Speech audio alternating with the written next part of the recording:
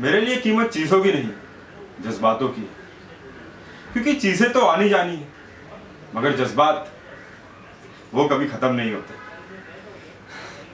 वैसे thank you आपको मेरी रिंगटोन अच्छी लगी।